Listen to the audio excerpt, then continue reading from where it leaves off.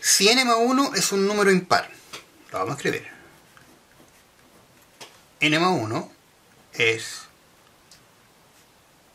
impar, con n perteneciente a los naturales. ¿Cuál de las siguientes expresiones representa siempre un número par? Ya.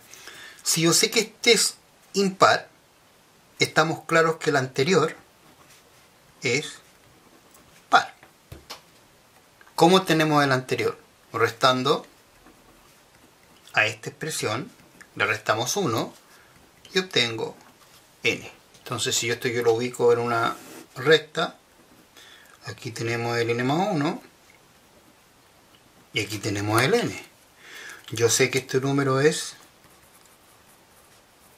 impar. Por lo tanto, el anterior a él, yo sé que es par. Por lo tanto, la alternativa correcta, la B.